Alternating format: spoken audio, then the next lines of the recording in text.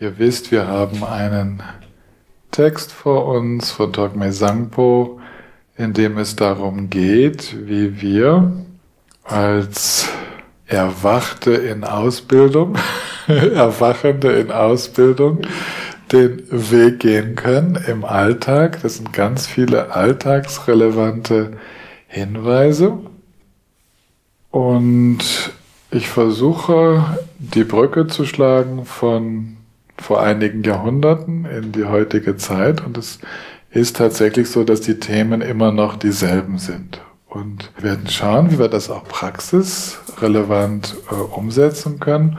Ich bin daran erinnert worden, dass ich letztes Mal gar keine Kontemplationen als Aufgabe gegeben habe. Also die Verse 11 bis 18 habe ich zwar besprochen, aber anders als beim ersten Mal habe ich keine, keine Übungen damit verbunden und das will ich jetzt als erstes mal nachholen. Die könnt ihr euch notieren. Wir können die jetzt nicht alle, ähm, also sowieso nicht, können wir die jetzt alle kontemplieren. Ich beginne also nochmal bei 11, ohne zu erklären. Das ist der Vers, der damit anfängt, sämtliches Leid entsteht aus dem Wunsch nach persönlichem Wohlergehen. Während die Ausrichtung auf das Wohl anderer vollendete Buddhaschaft hervorbringt. Aus diesem Grund das eigene Glück völlig gegen das Leid anderer auszutauschen, das ist die Praxis aller Bodhisattvas. Also, runtergefahren auf unser Niveau, was könnte das bedeuten? Ich würde sagen, ähm, tatsächlich als Übung einmal am Tag vielleicht, sich das, also wie innerlich sich vorzunehmen, einmal am Tag nehme ich etwas auf mich, was auch für mich unangenehm ist und ich mache es anstelle eines anderen. Einfach nur so eine kleine Übung. Eigentlich ist sehr viel mehr damit gemeint. Eigentlich ist gemeint, das hemmungslos zu tun, egal wie schlimm es wird.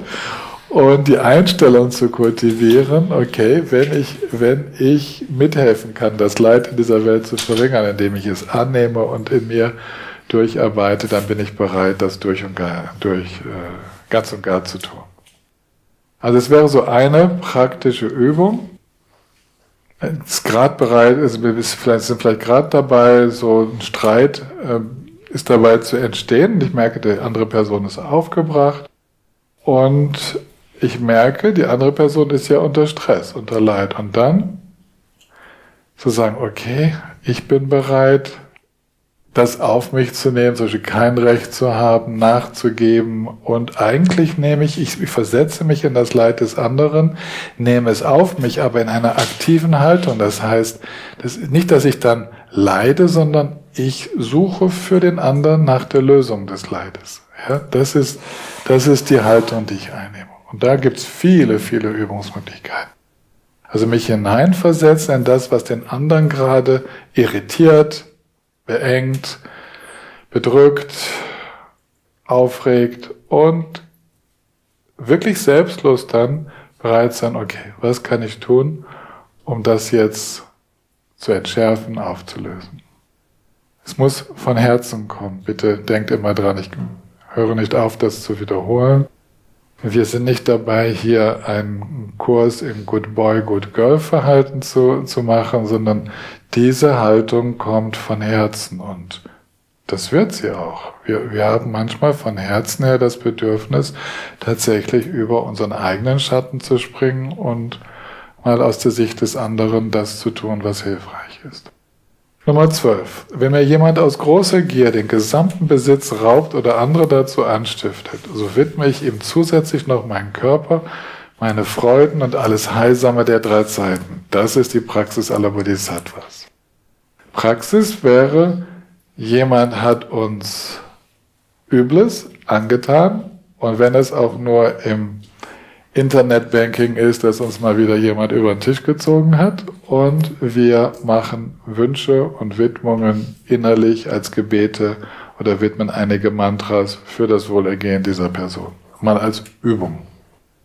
Wir brauchen nicht jedes Mal nachzugeben und zu sagen, macht ja nichts, bin ja ein großer Bodhisattva. Nee, darum geht's nicht, sondern tatsächlich, nachdem es abgeschlossen ist, was wir zu tun haben, ist getan, dann die Wünsche zu machen und neben dem Akzeptieren des Schadens auch noch Wünsche für das Heilsame für den anderen zu machen. Das wäre die Übung. 13.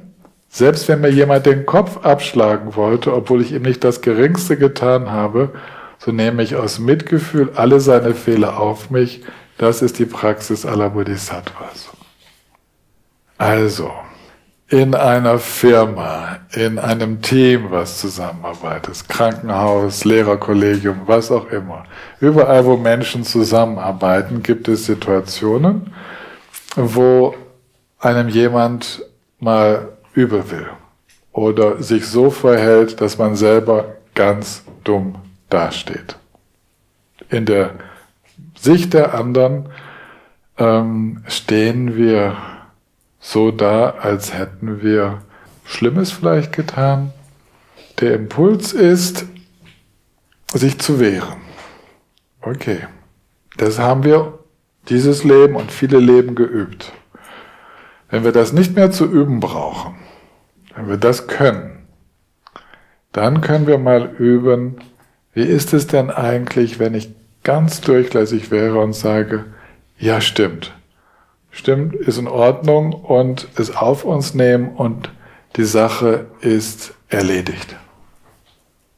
Trungpa Rinpoche hat ja manchmal sehr ähm, interessante Beispiele, sehr bildliche Beispiele. Er hat er hat das verglichen mit einem Ball of Shit, also einem Haufen Scheiße, den man sich gegenseitig zuschiebt und irgendjemand sagt, okay, bleib bei mir. Er ist meiner. Dass man einfach sagt, hier, ich nehme das, ich nehme die Fehler auf mich, okay, und Ende der Geschichte. Wäre mal eine interessante Alternative.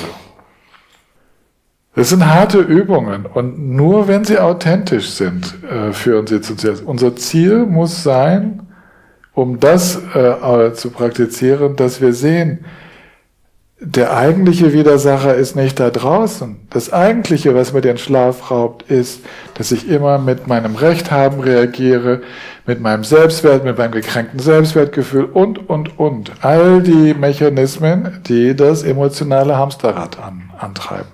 Das ist, ich sehe, dass es mir darum geht, dass das aufgelöst wird, dass ich aussteige aus diesem ständigen Rat des mir wird Schlechtes zugefügt, also wehre ich mich eventuell, füge ich dem anderen sogar Schlechtes zu und alles dran setze, um dieses, diese Kreisläufe zu unterbrechen, dann bin ich auf dem Weg aller Bodhisattvas. Selbst wenn mich jemand auf vielfältige Weise derart verleumdet, dass es im ganzen Universum zu hören ist, so preise ich mit liebevollem Geist immer wieder seine Qualitäten. Das ist die Praxis aller Bodhisattvas. Also nicht nur gut reden über jemand, der schlecht über mich redet, sondern mit liebevollem Geist gut reden über jemanden, der schlecht redet über mich. Übung ist klar, ne? Brauche ich jetzt nicht noch extra zu sagen, 15. Und sollte mich jemand vor vielen Leuten verletzen und meine verborgenen Fehler bloßstellen, so betrachte ich ihn als spirituellen Freund, das bedeutet als Lehrer, und verbeuge mich respektvoll vor ihm. Das ist die Praxis aller Bodhisattvas.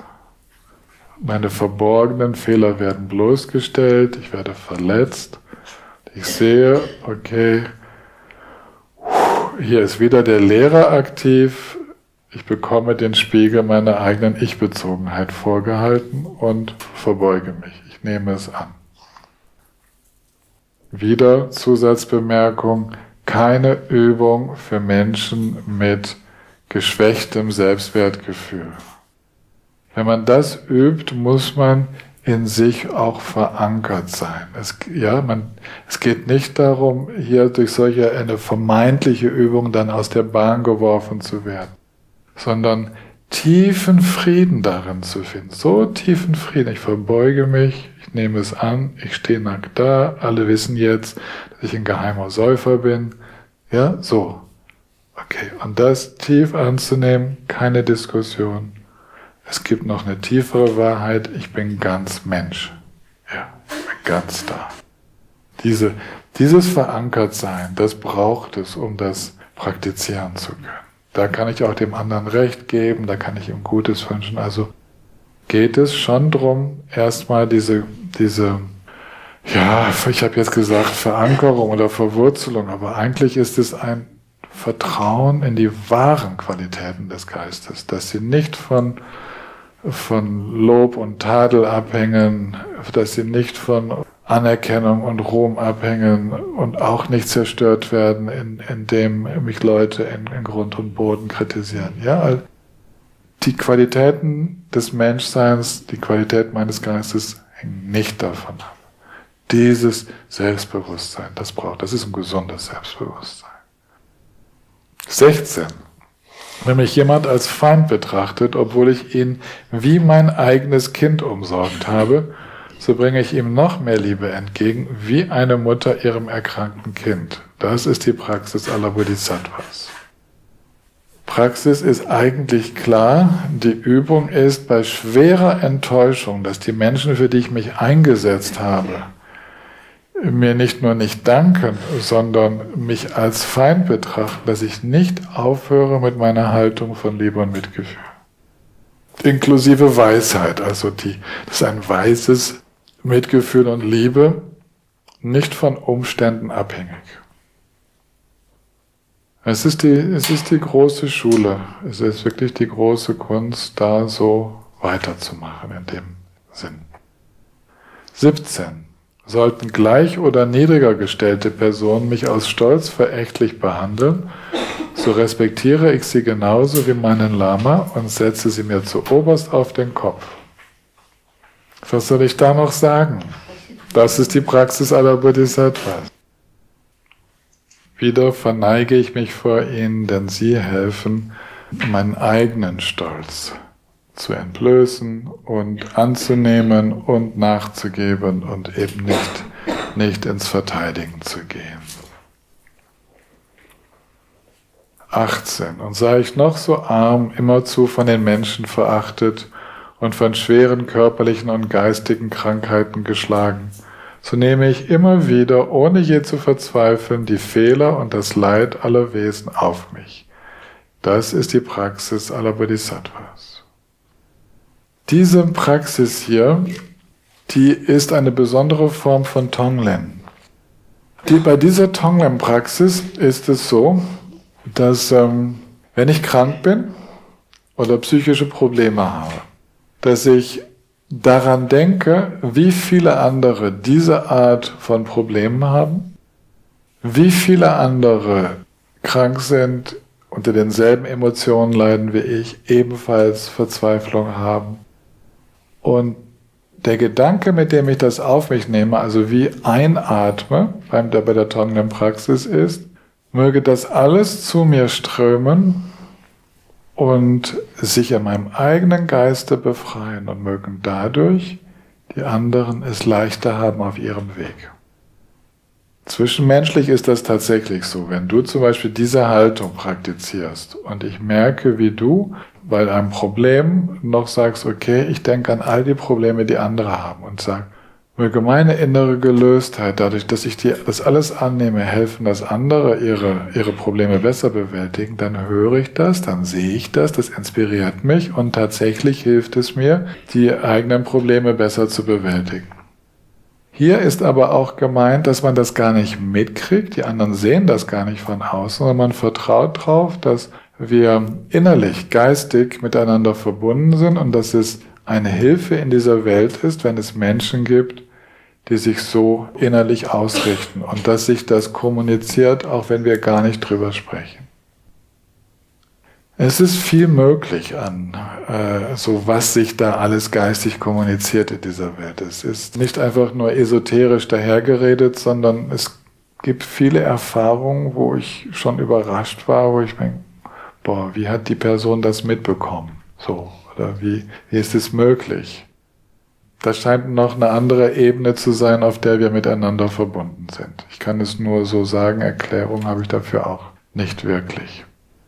Also das ist das, Man beginnt damit immer das Leid, was man gerade hat, sich vorzustellen, wer alles das noch hat und wer Ähnliches hat und so weiter, dehnt das immer weiter aus und nimmt das in das eigene Leiden hinein und sagt sich zum Beispiel, okay, ich habe jetzt gerade einen Oberschenkelhalsbruch, ich musste ganz viel an die alten Menschen denken, die Oberschenkelhalsbrüche haben, für die das eine Katastrophe ist. Für manche ist das das Ende des Lebens, weil sie dann verbluten, andere werden äh, erholen sich nie von den Operationen und manch, bei manchen ist es gut. Und da musste ich ganz oft dran denken und, sah, und dann das damit den Schmerz anzunehmen, ist dann eine Leichtigkeit. Da hat man das Gefühl, wie, ja, also, wie für die anderen das zu tun oder für sie mitzutragen und sowieso relativiert das das eigene Leid total, wenn man sich das mal vor Augen hält. Also, diese Praxis aber dann ausgeweitet. Und jetzt kommen wir zu dem neuen Teil von heute. Ne? Bei 19 geht's weiter. Okay. Selbst wenn ich so berühmt werde, dass sich viele Leute vor mir verbeugen, oder ich Schätze besitze wie der Reichtumsgott Vaishravana, also reicher geht's nicht. So verfalle ich nicht in Hochmut, sondern denke daran, wie nichtig weltlicher Ruhm und Besitz sind. Das ist die Praxis aller Bodhisattvas. Das Wort, was ich hier als nichtig übersetzt hat, habe, das ist auf Tibetisch sowas, dass es keine Substanz hat. Es äh, ist hohl. Lasst uns das mal anschauen. Es geht um Ruhm und Reichtum. Ruhm und Reichtum. Die ersten Gedanken, die General Rinpoche dazu immer ausdrückte, ist, sich mal zu überlegen, wie viel davon am Ende eines Lebens bleibt und uns ins nächste Leben begleitet. Und ist die Antwort schon ziemlich klar. Da begleitet uns nichts davon. Was uns begleiten wird, ist, wie wir damit umgehen, also die Einstellung. Stolz wird uns stolze Grundhaltung, Angst um Besitz wird uns begleiten, so diese Grundhaltung. Alles andere passt nicht sozusagen durch das Nadelöhr des Todes hindurch. Aber diese Grundtendenzen, diese Muster, also keineswegs der Reichtum. Dann der zweite Gedanke, den er äußerte, ist, schau doch mal hin. Jetzt zum Beispiel, ihr kommt gerne, um um Unterweisungen zu erhalten von verschiedenen Dharma-Lehrern. Und als Dharma-Lehrer könnte man geneigt sein zu denken, man wäre etwas Besonderes, weil die Leute kommen, um einem zuzuhören. Und der große Irrtum ist, dass je mehr ich dabei ist beim Unterrichten, desto weniger Leute hören zu, desto weniger gut ist die Unterweisung. Eigentlich immer dann, wenn ich nicht präsent bin, dann passiert die beste Unterweisung. Also die Qualitäten, weil es geht ja hier um Dharma-Praxis. Die echten Qualitäten sind gar kein Besitz des Ichs.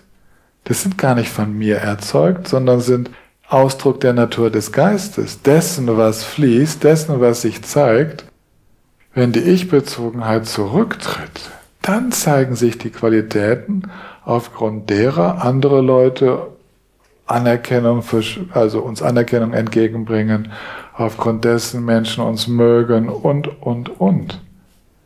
Gene Rinpoche sagte immer von sich selbst, ich bin nichts. Alle Qualitäten sind die Qualitäten des Dharmas. Das, damit meinte er der Natur der Dinge.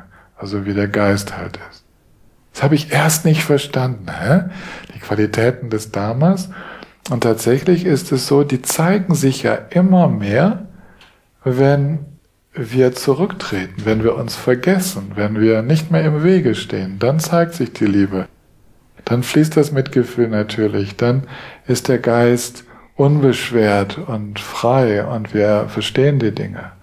Also eigentlich sind die Qualitäten, für die man uns wirkliche Anerkennung zollen könnte, gar nicht die eigenen. Und wenn ich jetzt zum Beispiel hier vor euch sitze und diese Verse so erkläre, dann ist das ja gar nicht auf meinem Mist gewachsen.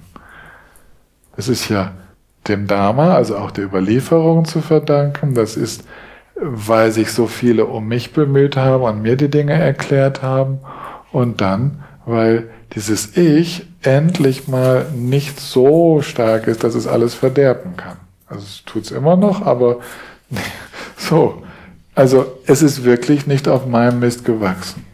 Und falls ich anerkannt werde und berühmt bin für Dinge, die auf meinem Mist gewachsen sind, dann sollte ich, ähm, da sollten die roten Warnlichter angehen.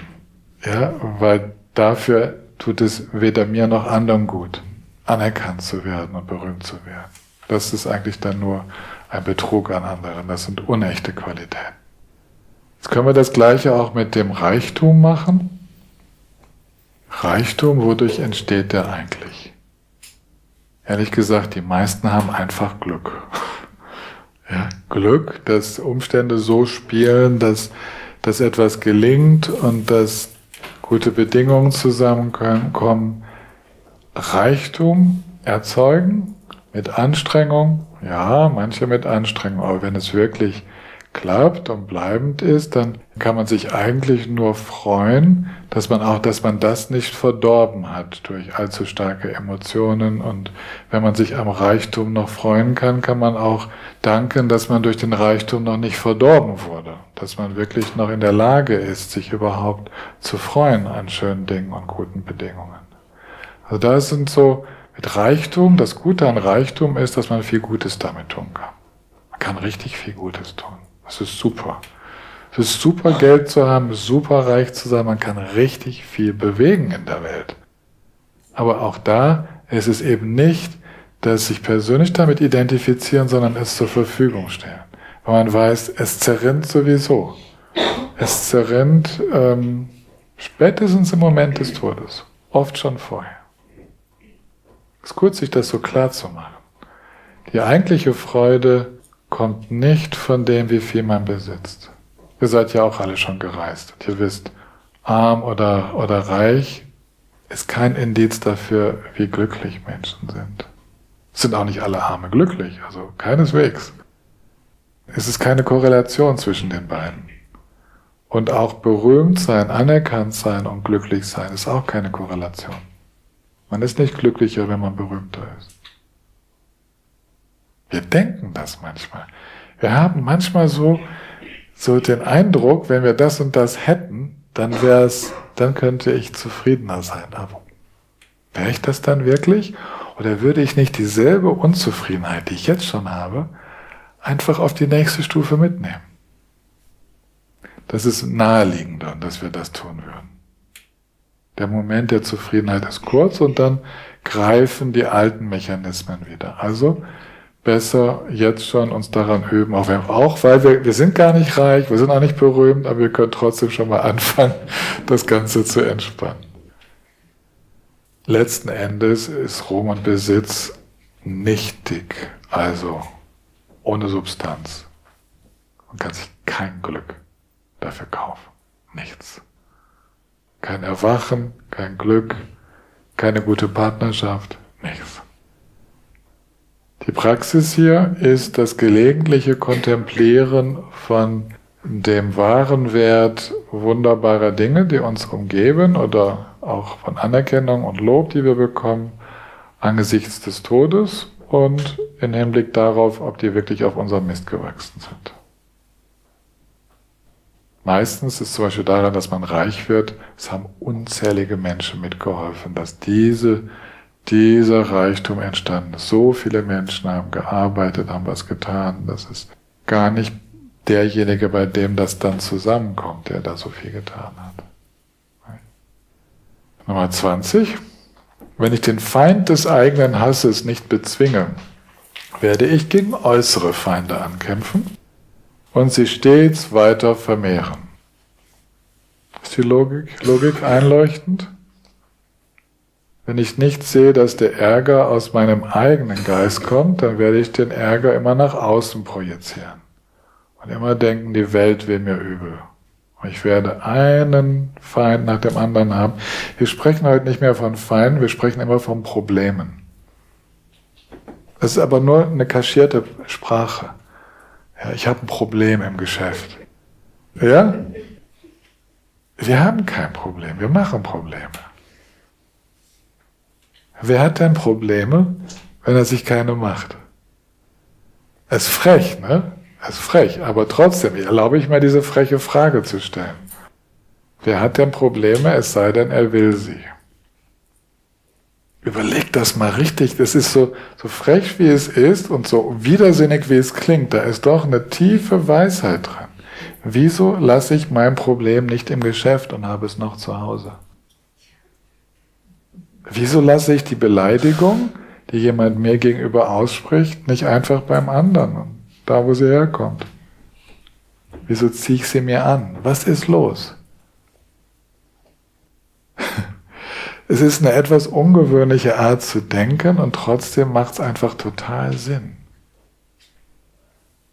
Ich muss dann noch das Loslassen lernen, das Lassen. Ne? Die Dinge lassen, wie sie sind, die lösen sich dann von selbst auf. Das muss ich noch lernen, mich nicht zu identifizieren. Feinde, also Leute, mit denen ich nicht grün bin, die mir was wollen, wo ich das Gefühl habe, hm, ja, die ich lieber nicht sehe, die haben wir auch. Wir würden sie jetzt nicht Feinde nennen, aber es gibt Leute, wo wir das Gefühl haben, oh, den gehe ich lieber aus dem Weg. Warum eigentlich? Hat das nicht was mit unseren gemischten Gefühlen zu tun? Wenn wir frei wären, nicht identifiziert, dann äh, ist es schwer, unser Feind zu sein. Die können sich immer noch zu unserem Feind erklären oder mit uns Probleme haben, aber wir haben keine, deswegen haben wir keine Feinde. Also es braucht da noch unsere Reaktion, um wirklich Feinde zu haben, um wirklich Problemmenschen zu haben in meinem Leben, brauche ich meine eigene emotionale Reaktion. Und wenn die ausbleibt, dann habe ich keine. Bloß, wie bleibt die aus? Das, das ist diese ganze emotionale Arbeit, von der wir ja auch schon gesprochen haben. Unglaublich tiefe Arbeit. Und jetzt kommt die Antwort. Aus diesem Grund mit den Armeen von Liebe und Mitgefühl den eigenen Seinsstrom zu zähmen, das ist die Praxis aller Bodhisattvas. Dieses Wort zähmen heißt so viel wie meistern ist im Tibetischen derselbe Ausdruck wie das Sanskrit Vinaya, also dieses den Geistesstrom zu üben. Und ich finde ich finde das so interessant, dass er hier schreibt mit den Armeen von Liebe und Mitgefühl.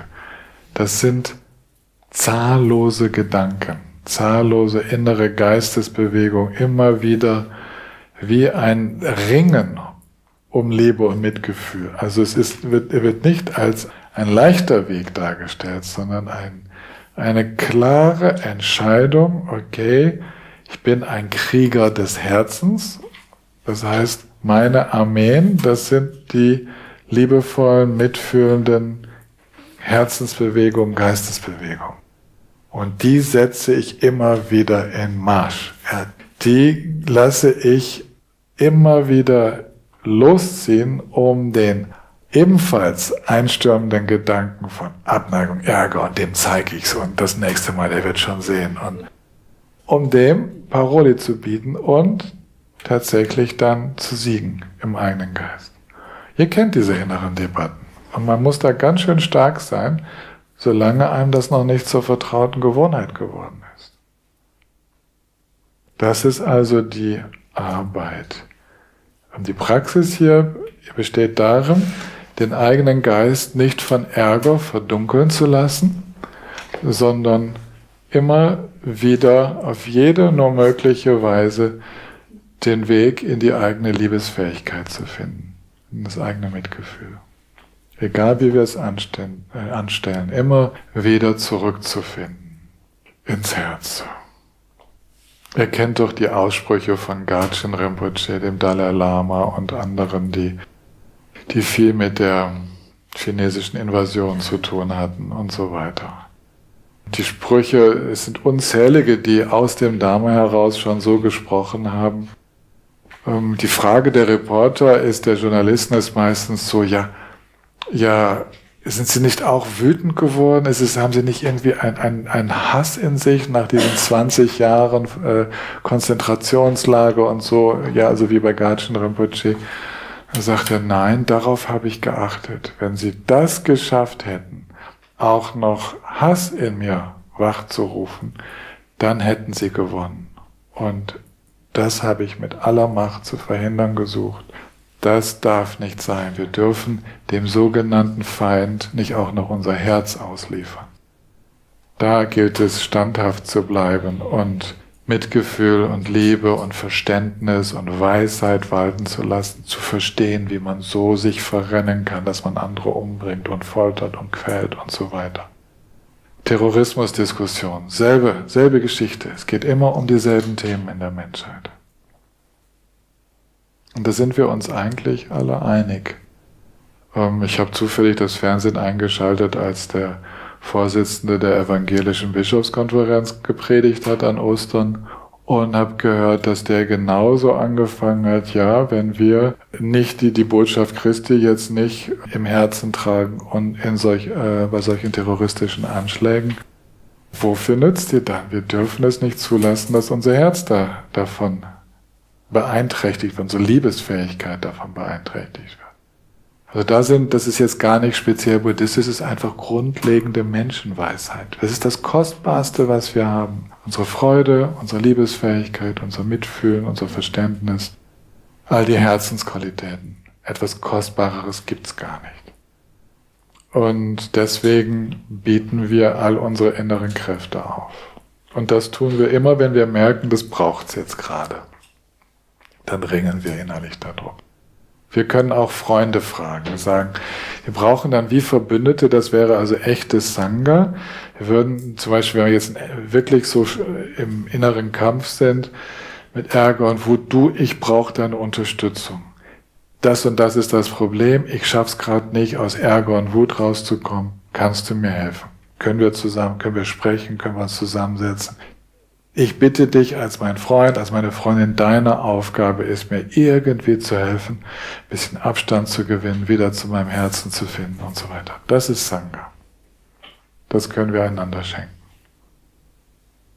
Mach noch ein bisschen weiter, Fragen kommen dann nachher auch noch. 21. Sinnesfreuden sind wie Salzwasser. Je mehr wir davon genießen, desto größer wird der Durst alles, was Verlangen und Anhaftung hervorruft, augenblicklich aufzugeben. Das ist die Praxis aller Bodhisattvas. Okay, wie ist es? Wie steht's? Sind wir genauso bereit, die Begierde aufzugeben wie den Hass? Oder haben wir da doch noch gewisse Vorlieben? Ist die Begierde eine, also das Richtige haben wollen, wenn dieses Zwanghafte in uns reinkommt, ist das angenehmer? Wollen wir das behalten? im Begleiten von Menschen auf dem Weg, ist ja klar, dass mir das aufgefallen ist, bei mir und anderen, dass wir mit der Begierde nicht so schnell aufräumen wollen wie mit Ärger und Hass. Das hat damit zu tun, dass Ärger und Hass schon mal sehr unangenehm auch als persönliche Erfahrung sind. So die raushängende Zunge des haben wollen, des Fasziniertseins und so, ist nicht ganz so unangenehm. Also unsere Motivation ist etwas geringer. Und die Motivation hier im Vers kommt daher, dass ich erkenne, dass es wie das Trinken von Salzwasser ist. Also dass das Erfüllen einer Begierde nur kurzfristige Erleichterung verschafft und mehr vom Gleichen erzeugt. Ist das so? Müssen wir überprüfen, muss jeder für sich selbst überprüfen. In den Bereichen, wo es so ist, empfiehlt es sich, kein Salzwasser mehr zu trinken. Könnte irgendwie das Verlangen und die Anhaftung doch noch Freude hervorbringen? Das ist ja so unsere Vermutung. Es könnte doch. Nicht, dass ich zu früh loslasse. Es könnte doch. Wir begegnen da einem inneren Gesetz. Das Gesetz ist, ein enger Geisteszustand zieht weite, weitere enge Geisteszustände nach sich.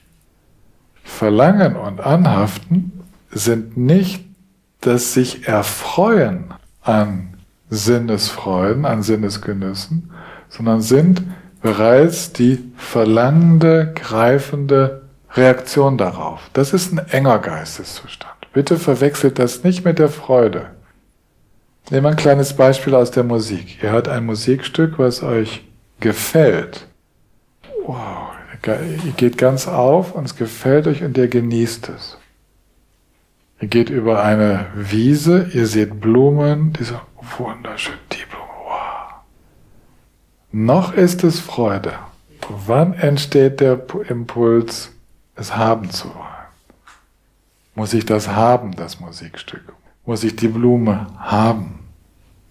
Muss ich die Erfahrung wiederholen? Da beginnt unsere eigene Geisteshaltung, Angst zu haben davor, dass diese schöne Erfahrung aufhört und den Wunsch zu haben, dass sie sich wiederholt bzw. länger dauert. Das ist der Beginn des Anhaftens. Ich bin dann nicht mehr im fließenden Erleben, sondern schon in der Sorge, ob es auch lang weitergeht oder sich wiederholt. Oder die Sorge ist halt nicht mehr zu haben. Aus dieser Sorge heraus gehandelt, wird nicht viel Gutes bei rauskommen, weil das ist aus der Enge. Ich bin dabei, aus der Enge heraus zu reagieren.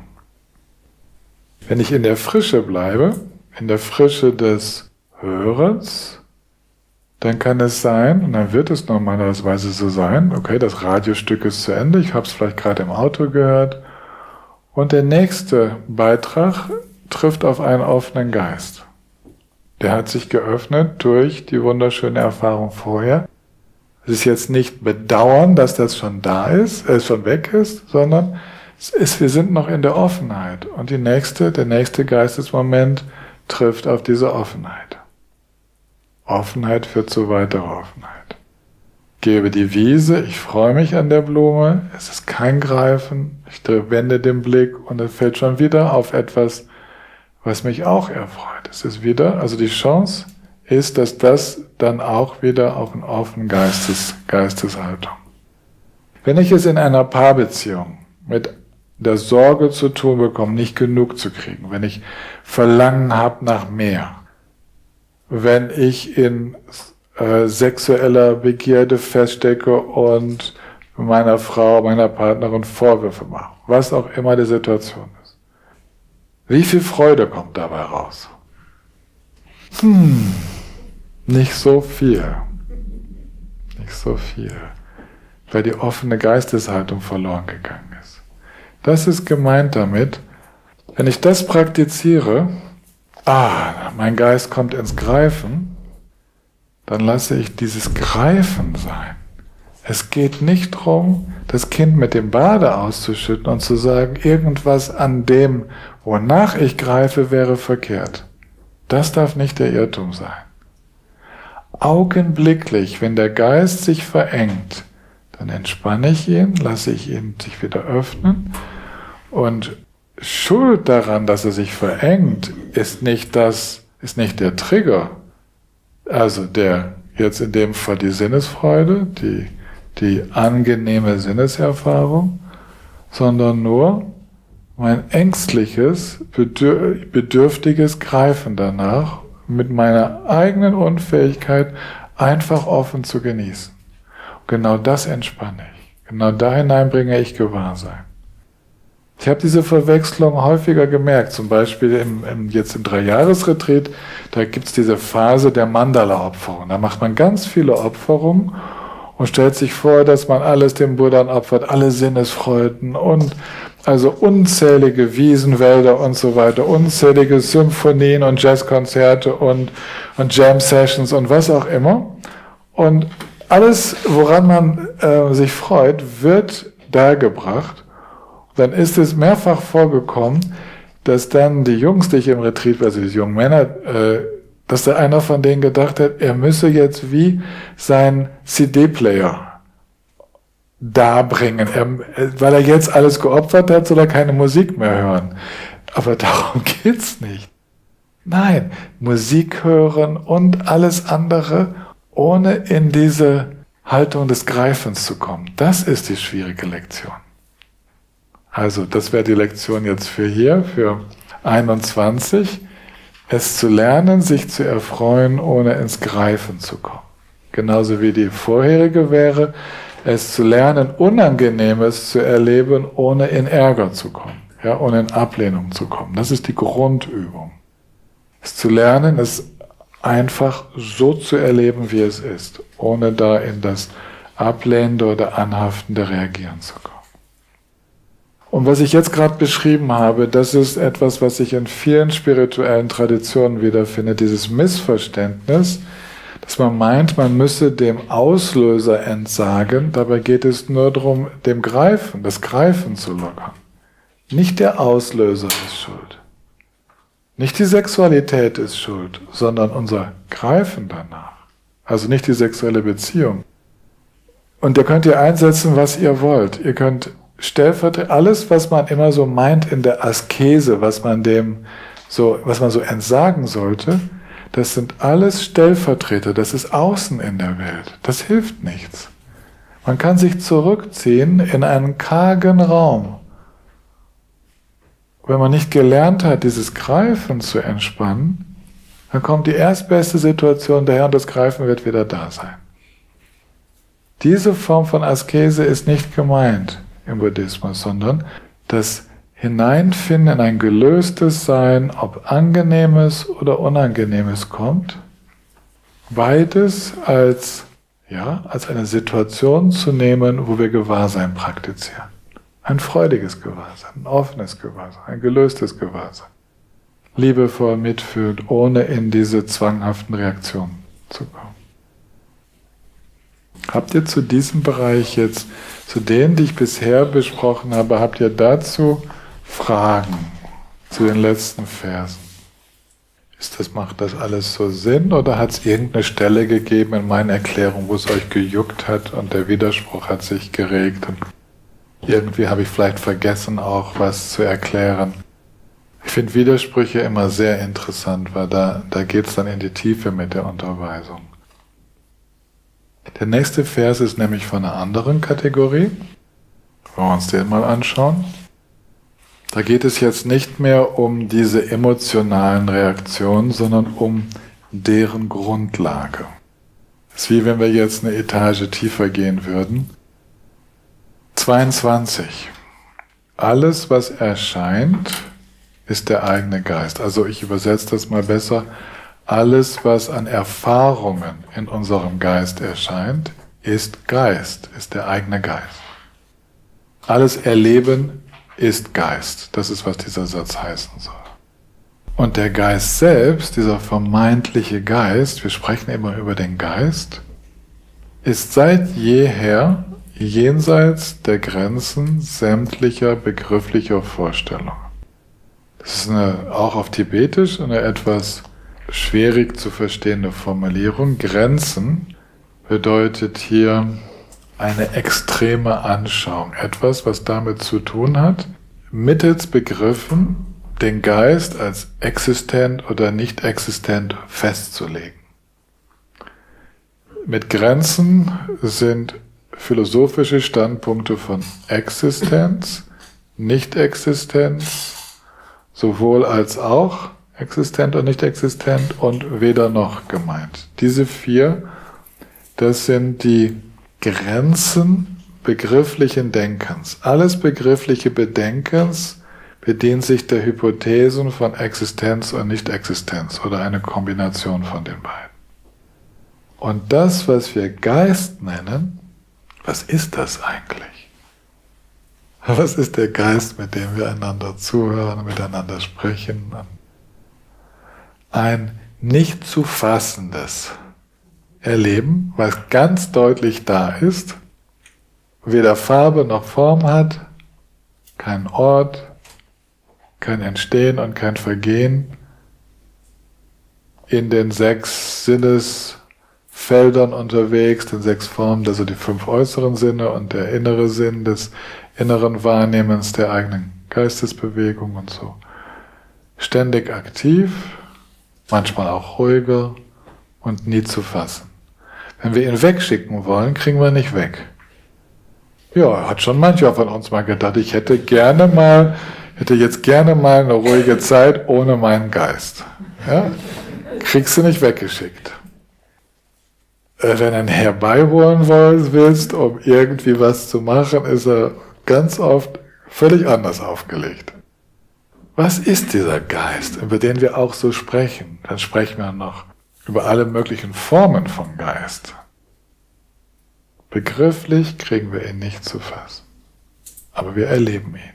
Wir erleben nicht ihn, sondern wir erleben wach, bewusst, immer wieder Neues. Alles von dem, was wir erleben, ohne Substanz. Ständiger Strom des Erlebens und das nennen wir einfach Geist. Okay, diese Fähigkeit wahrzunehmen, bewusst zu sein, zu erleben, mit all dem, was das ausmacht, all die Herzensregungen und so. Im Geist, da wäre jetzt noch zu, über, zu hinzuschauen, weil es geht um Mittelpunkt und Grenzen. Der Mittelpunkt ist noch nicht erwähnt, aber ist da jemand? Hat da jemand den Geist? Habe ich einen Geist? Gibt es da ein Ich, das einen Geist hat? Und ist dieses Ich dann kein Geist? Oder haben wir zwei Geister? Ja, seht ihr, mit Begriffen kann man richtig schön Verwirrung herstellen. Begriffe sind immer gut, uns zu verwirren, wenn man sie mal ernst nimmt. Wir sagen das so. Ich habe einen sehr beschränkten Geist. Welches Ich weiß das? es sind einfach nur Bewegungen, ja, das sind diese Bewegungen des Denkens, des Fühlens und die Summe von all dem geben wir halt einen Namen, um darüber sprechen zu können und tun manchmal auch noch so, als ob wir nicht Teil des Ganzen wären dabei. Ist auch das wieder nur eine Geistesbewegung. Dann denken wir, das, was wir außen wahrnehmen, der Fußboden, der Tisch, mein Gegenüber und so weiter. Das wäre dann das andere. Ich und das andere. Und dieses Ich und das, was ich erlebe, das ist allerdings alles Geist. Ja? Also alles findet als Erleben statt. Anderes ist Erleben, Ich-Gefühl ist Erleben, und dieses Erleben ist nicht fassbar. Und jetzt kommt der letzte Satz, der zweite Teil. Dies zu verstehen und keinerlei dualistisches Benennen im Geist zu erzeugen, das ist die Praxis aller Bodhisattvas. Dualistisches Benennen, es steht sogar noch präziser, Sum Sin Senma, das ist ähm, Subjekt-Objekt. Nicht in Subjekt-Objekt-Wahrnehmung zu verfallen. Das ist was hier gemeint ist. Also die Übung besteht darin, den Geist so zu öffnen, diesen vermeintlichen, nicht fassbaren Geist, dass wir weder an einem, dass das weder ein Mittelpunkt gegenwärtig ist, noch ein vermeintlich anderes, dass wir, es ist jetzt ein bisschen schwierig auch begrifflich das auszudrücken, in dem nicht getrennt sein eines situativen Erlebens sind. Das ist das erwachte Erleben. Das erwachte Erleben ist kein mittelpunktorientiertes Erleben mehr, sondern ein situatives Erleben. Also ein rundum Wahrnehmen, wo alle Sinne offen sind, alles funktioniert. Da ist natürlich ein Geistesstrom in diesem Körper aktiv, aber da wird, da entsteht nicht das Gefühl, ich als getrennt vom anderen. Das nennt man dualistisch, Subjekt-Objekt. Und das ist natürlich der Hammer von Praxis hier, 22. Das ist die Grundlage, das ist eigentlich Erwachen. Wenn wir in der Lage wären, das nicht mehr im Geist zu erzeugen, dann, dann wären wir erwacht. Aber wir können uns üben darin, die Übung für uns ist, diese dualistische Spannung zu reduzieren. Das geht in Richtung von uns selbst vergessen. Also immer wieder Dinge mit weniger starkem Ich-Gefühl anzugehen. Wenn das Ich-Gefühl stark wird, bewusst nachzulassen und zu entspannen. Einfache Beispiele, um das klar zu machen, sind körperliche Anstrengung. Ich kann eine Treppe hochgehen mit starkem Ich-Gefühl. Oh, diese Treppe, oh ja. Oder ich kann mich innerlich wie entspannen und einfach die Treppe geht sich hoch. Ja, also so der Körper geht die Treppe. Es geht, es kann so leicht sein. Es kann so leicht sein. Gute Sache auch, ich habe da noch so und so viel E-Mails abzuarbeiten. Ich muss die E-Mails ab und wie schwer das wird. Und pff, ich spreche auch über mich, ne? Und dann, wie, und dann die Widerstände so. Einfach machen. Dieses Ich-Gefühl, dieses Dualistische ist immer ich und mein Problem, ich und meine Aufgabe und der ganze Stress, der dadurch entsteht. Und eine konkrete Übung wäre, die Dinge, irgendetwas in, im Alltag mal bewusst mit einer viel größeren Leichtigkeit anzugehen. Ohne Subjekt, ich und anderes so krass zu trennen. Also wenn ich mich vergessen kann dabei, umso besser. Du hattest eine Frage. Mein Geist sehnt sich gerade nach ein bisschen Orientierung. Ja. Wie würdest du denn in diesem Zusammenhang, wenn du von, von einem Geistesstrom sprichst, der unentwegt aktiv ist und der vielleicht auch gar nicht ähm, wirklich innerhalb meiner Körpergrenzen begrenzt ist, sondern auch außerhalb aktiv ist, wenn ich richtig verstanden habe oder gehört zu meinen habe? Wie würdest du denn Begrifflichkeiten wie Bewusstsein und das Unbewusstsein, das Traumbewusstsein und vielleicht sogar noch Geisteskrankheit da drin verorten? Genau. Kannst du was dazu sagen? Gerne, ja, sicher, klar. Die äh, Fragen habe ich mir ja auch schon gestellt. Also auf der begrifflichen Ebene ist es, ist es so, dass wir Geist als den umfassendsten Begriff für all diese Bewusstseins-, Gewahrseins- äh, Phänomene haben. Im Geist kann man sich vorstellen, gibt es unbewusstere, weniger bewusste, halbbewusste Bereiche und so, ja. Das ist einfach begrifflich, kann man das sich klar machen, wie man die Begriffe nutzen möchte.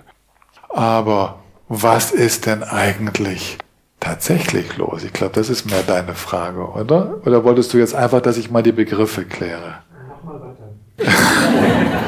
ja, weil die Begriffe kann ich natürlich klären. Bewusstsein haben wir jetzt mal reserviert als ein Begriff für die sechs Arten von Sinnesbewusstsein, angefangen mit taktilem, also Körperbewusstsein, Sehen, Hören, Riechen, Schmecken. Und der große Bereich des mentalen Bewusstseins und dann gibt es noch das emotionale Bewusstsein und da gibt es dann die unbewussten Schichten, da wo Kräfte in uns aktiv sind, wie so die kleinen Flitzer unserer impulshaften Reaktionen. Da sprechen die, äh, die, die Buddhisten nicht von einem Unbewussten, was unbewusst bleibt, sondern einem noch nicht Bewussten, was bewusst werden kann. Das heißt, das sogenannte Unbewusste, also jetzt gerade auch so wie Jung, der ja total fasziniert war mit dem Unbewussten, ähm, der hat dem wie so eine, das war wie so eine echte Instanz bei dem, als ob das immer unbewusst bleiben würde. Und ähm, tatsächlich ist es so, wenn man jetzt über ganz feine Selbstwahrnehmung rangeht, wie es in der in, subtil, in subtilster Meditation passiert, dann kriegt man diese kleinen Flitzer mit, die die ähm, Psychoanalytiker das Unbewusste nennen. Man kriegt auch die Über-Ich-Impulse mit, man kriegt all die verschiedenen Impulse, kriegt man mit, die einem Normalmenschen unbewusst sind. Und so sprach der, der Buddha zum Beispiel über die Kleshas, die Emotionen und die darunter liegenden Gewohnheitsmuster und dann noch darunter liegende für den Normalmenschen völlig unbewusste Triebflüsse, ja, diese Strömungen, die Untergrundströmungen. Und er beschrieb auch das Phänomen, dass die tatsächlich dem Normalmenschen nicht zugänglich sind, sind unbewusst. Genauso wie dem Normalmenschen auch die Natur des eigenen Geistes nicht bewusst ist.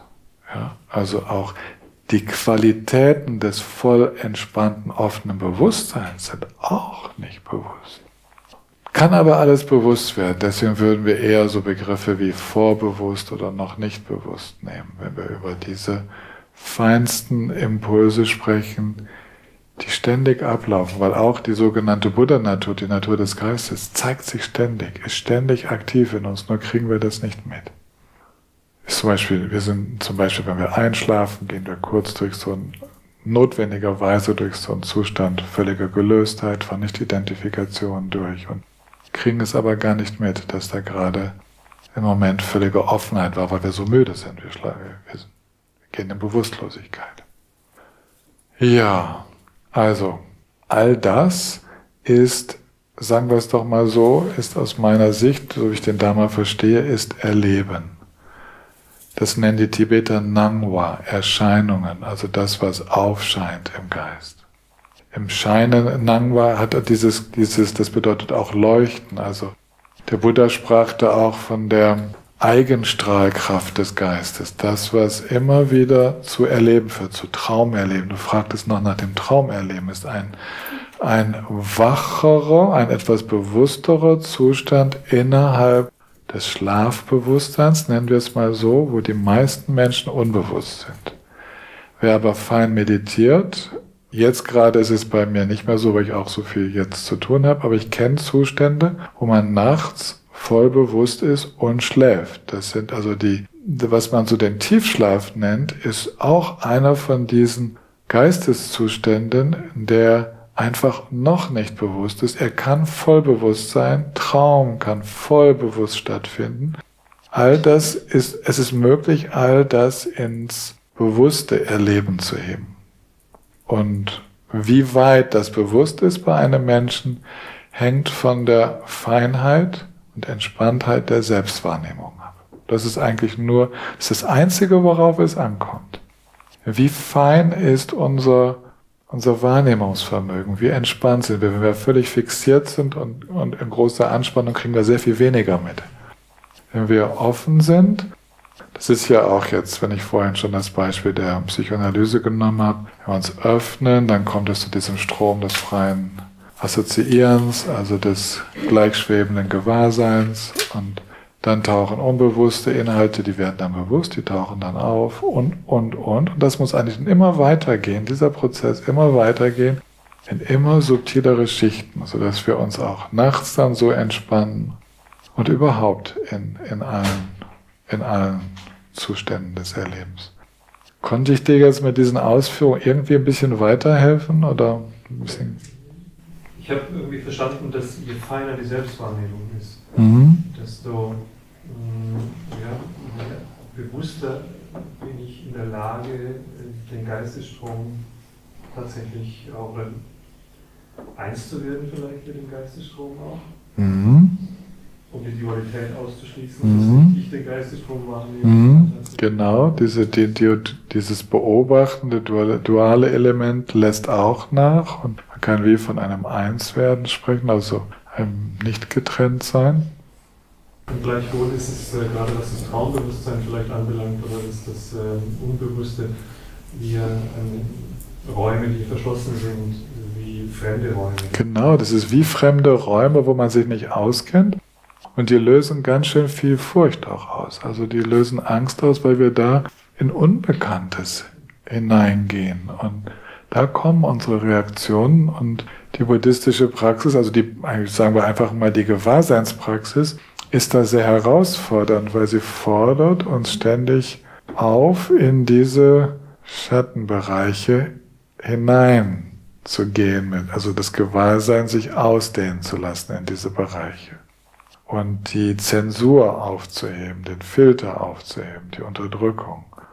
Das sind Dimensionen, also die Feinheit, die, die Schritte im Feinerwerden der eigenen Wahrnehmung, die ich erlebt habe, das ist wirklich so, wie wenn man von einem Kinderfernrohr, äh, ja, also allmählich dann zu richtig tollen Teleskopen wechselt oder vom Mikros Kindermikroskop dann allmählich so, ja, man muss dann schon, nehme ich an, irgendwann schon von einem Elektronenmikroskop sprechen. So, so groß sind die Unterschiede. Also es ist dann wirklich möglich, jede Regung zu erleben, jede Regung des Geistes zu erleben. Das ist schon also auch sehr unangenehm. Es ist auch etwas, was, was in der, in der Phase, wo man sich dran gewöhnt, es ist sehr unangenehm, so viel über sich selbst, von sich selbst mitzubekommen. Es ist manchmal zum Nicht-Aushalten, weil man sieht nur einen ich-bezogenen Gedanken nach dem anderen, man sieht die ganzen dualistischen Muster durchsausen mit einer unglaublichen Geschwindigkeit. Es ist, ähm, ja, zum Verrücktwerden. Ach ja, das war ja auch noch eine Frage.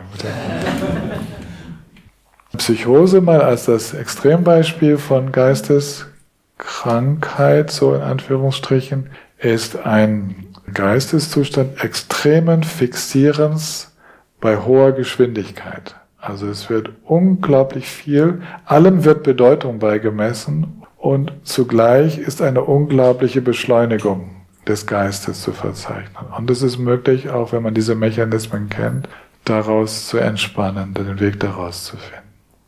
Ja, und depressive Verstimmung und Depression und so weiter sind andere Formen des Fixierens auf bestimmte Arten von Wahrnehmung mit nicht derselben Beschleunigung des Geistes wie bei einer manischen Psychose. Ja. Die Frage, wie ist denn das? Gehören die Emotionen zu diesem Geistesstrom? Vorher hieß es davon Seinsstrom oder sowas? Nehmen wir mit, egal welcher Begriff. Hm? Ja. Und, und dann wollte ich fragen, gibt es Emotionen, die zu dem Ich gehören und Emotionen, die zur Weisheit gehören? Oder?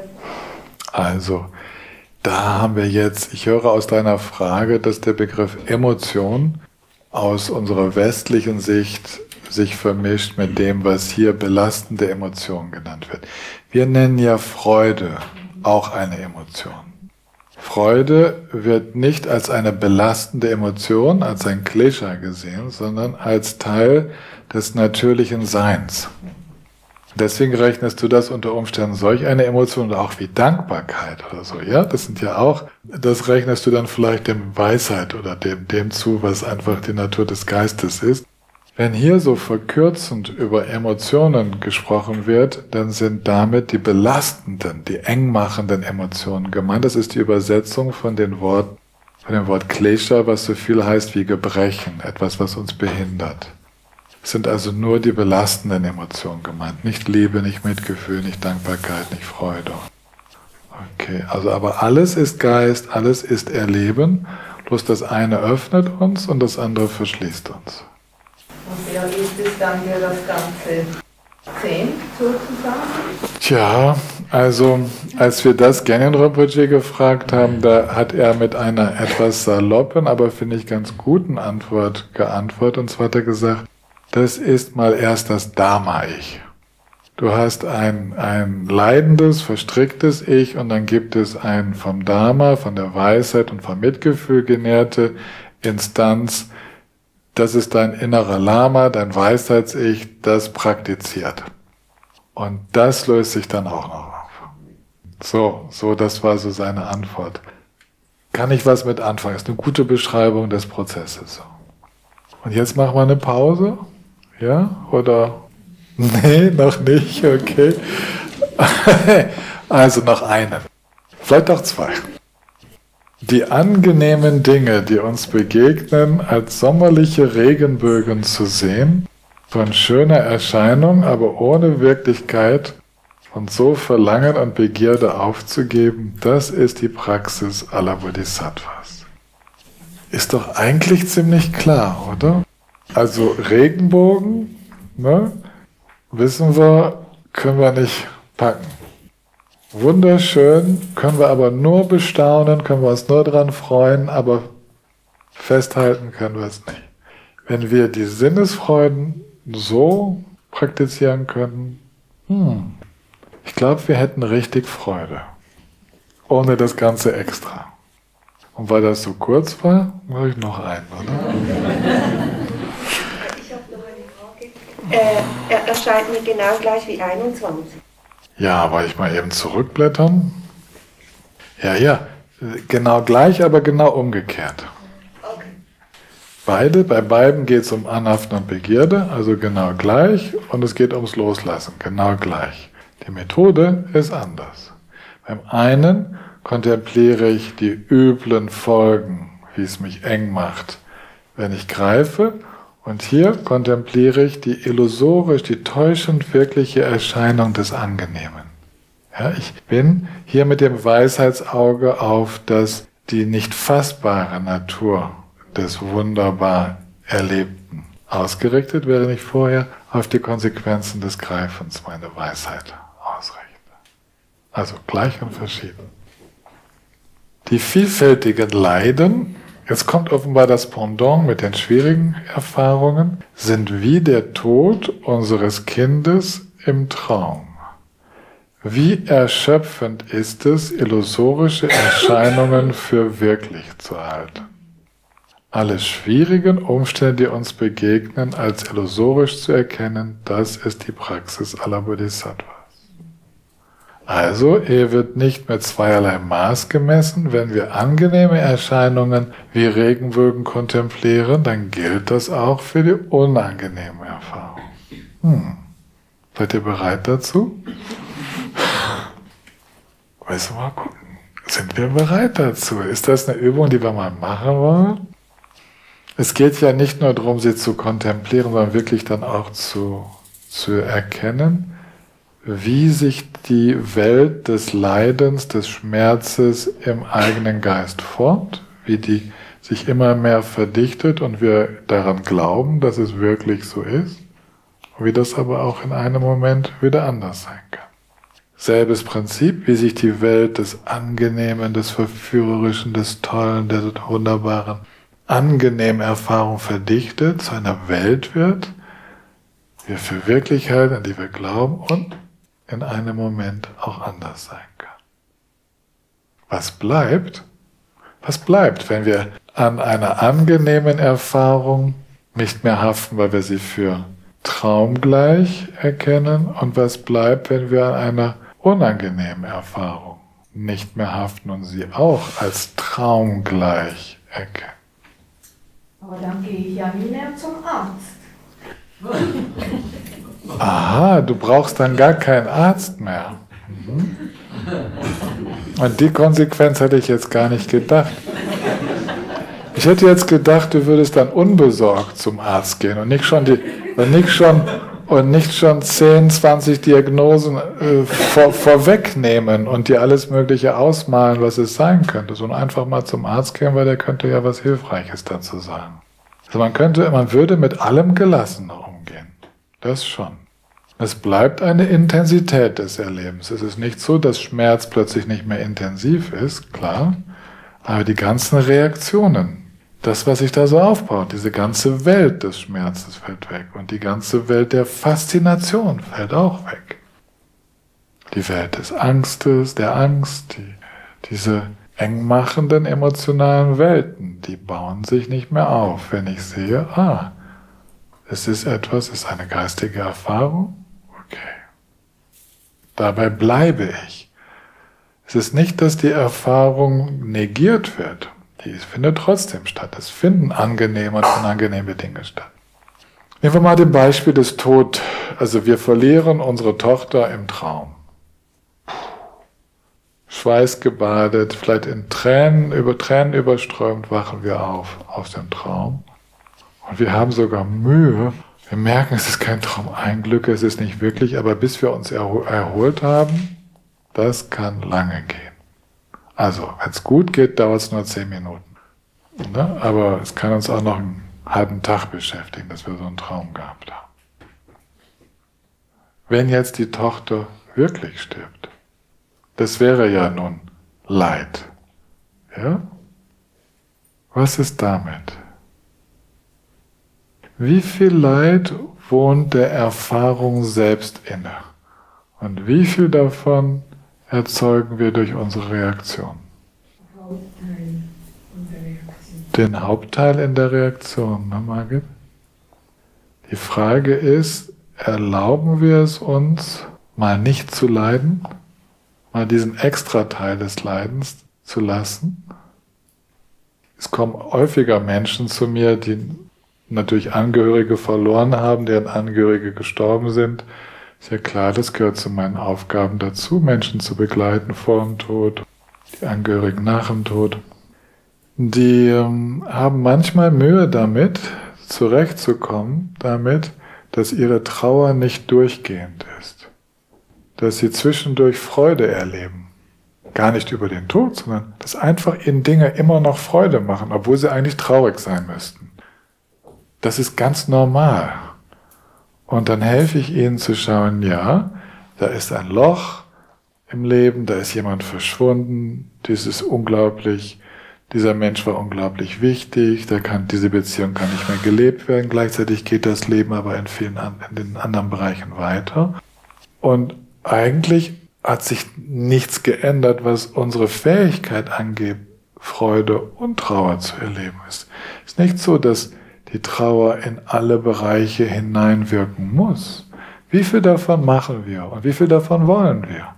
Und wenn sie dann so überrascht sind und merken, boah, es ist so schön zu leben. Manchmal sage ich ihnen sogar, ja, und das ist ein Geschenk an ihren verstorbenen Angehörigen, dass sie jetzt freudig weitergehen. Vielleicht hat die Angehörige, der Angehörige gar kein Interesse daran, dass sie jetzt trauern, trauern, trauern, trauern, trauern. Viele von uns haben ja schon in ihr Testament geschrieben, ich weiß nicht, ob ihr auch dazu gehört, aber bitte seid nicht so traurig, wenn ich sterbe, macht ein schönes Fest. Ja? Da steht bei einigen von uns im Testament drin. Und das ist richtig so, weil das Leben geht weiter und das Leben wirklich zu nutzen, zu genießen, das ist ein tolles Geschenk. Und tatsächlich hat unser Geist die Möglichkeit, entweder wir bauen uns die Welt des Schmerzes und wir halten relativ lange daran fest, bis wir nicht mehr können, oder wir lassen es sein. Und manchmal kommen diese Wellen von Trauer, dann rauschen sie wieder durch, jetzt sind wir ganz traurig, aber dann sind sie auch wieder vorbei. Wir brauchen sie nicht länger zu machen, sie rauschen einfach durch. Und so können auch freudvolle Erfahrungen, angenehme Erfahrungen, die können durchrauschen. Wir brauchen sie nicht noch zu verlängern. Das wird dann zum Krampf. Wir sind mit relativ viel Krampf unterwegs im Leben. Ja? Dieses Fortsetzen von Erfahrungen, die eigentlich schon vorbei sind. Wenn die Trauerwelle schon durchgerauscht ist, dann kann ich auch ein paar Stunden wieder glücklich sein. Und dann löst irgendetwas wieder die Trauerwelle auf und dann bin ich wieder traurig. Okay und dann ist wieder vorbei, dann bin ich wieder freudig. Das ist ganz normal. Möglichst wenig verfestigen und durchlässig werden für diese verschiedensten Erfahrungen. Das heißt nicht, dass ich nicht zum Arzt gehe, das heißt auch nicht, dass ich nicht zur Beerdigung gehe. Also all das findet statt, aber mit einer solchen inneren Leichtigkeit, weil sich weniger dran heftet. Jetzt denke ich, wäre es schon gut, eine Pause zu machen. Also, Viertelstunde Pause, dann geht's weiter.